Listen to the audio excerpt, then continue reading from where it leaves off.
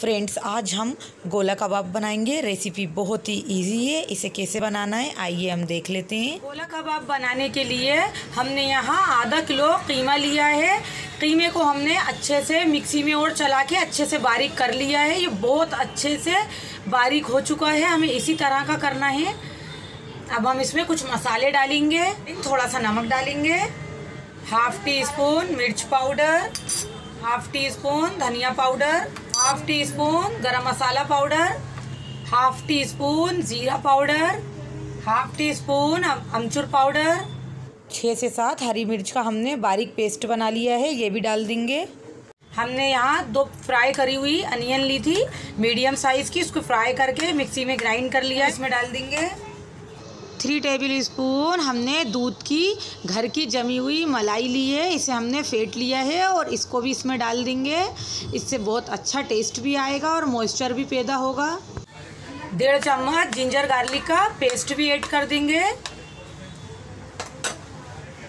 Half lemon squeeze कर देंगे। Half teaspoon dry papaya का पाउडर सारी चीज़ों को मिला दिया है, अब हम सब चीज़ों को अच्छे से मिक्स कर देंगे। हमने जो पपीते का पाउडर मिलाया है इससे टेंडराइज अच्छा होता है।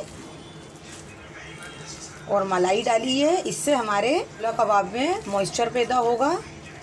अच्छे से हम सारी चीज़ों को अच्छे से हमने मिक्स कर दिया है।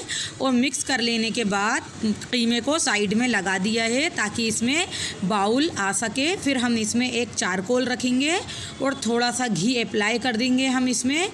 इससे क्या होगा कि हमारे कीमे में बहुत अच्छा फ्लेवर पहुँचेगा और हम एक घंटे के लिए इसी तरह इसको रखेंगे। एक घंटे बाद हम चेक करेंगे।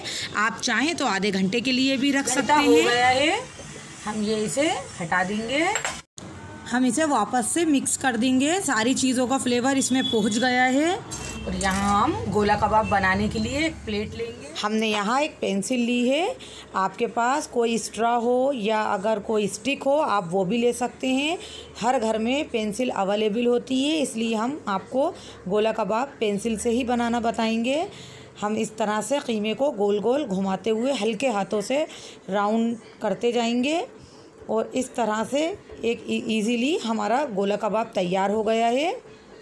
साइज़ आपको जो भी रखना हो आप रख सकते हैं। हम इसी तरह से दूसरा भी गोला कबाब बना लेंगे। बहुत इजी है इसे बनाना और इस तरह से हल्के हाथों से घुमाते हुए हम तैयार कर लेंगे। ये भी हमारा गोला कबाब बन के तैयार हो गया है। इसी तरह से हम सारे गोला कबाब तैयार कर लेंगे। लिए। अब हम इन्हें फ्राई करने के लिए ऑयल चढ़ा देंगे। यहाँ ऑयल भी गर्म हो गया है। हम एक एक करके गोला कबाब रखते जाएँगे। एक साइड से कलर अच्छा आ गया है। अब हम इसकी साइड चेंज करते जाएँगे। चेंज कर दिए हमने एक साइड से फ्राई हो गए हैं। हम दूसरी साइड भी अच्छे से इसे कुक करेंगे। कलर बहुत अच्छा आ गया है और बहुत अच्छी खुशबू भी आ रही है। ये अच्छे से फ्राई हो गए हैं। ज़रूरत लगने पर आप इसमें और ऑयल डाल सकते हैं। इसमें एक ट्विस्ट और देंगे अब एक और ट्विस्ट और मार्केट वाला लुक देने के लिए हमने गरम पे पेन को चढ़ा के रखा है, जिसमें हमने एक चम्मच ऑयल डाल दिया है। यहाँ मीडियम साइज़ की दो प्याज ली हैं, जिसे हमने गोल गोल स्लाइसिस में काट लिया है।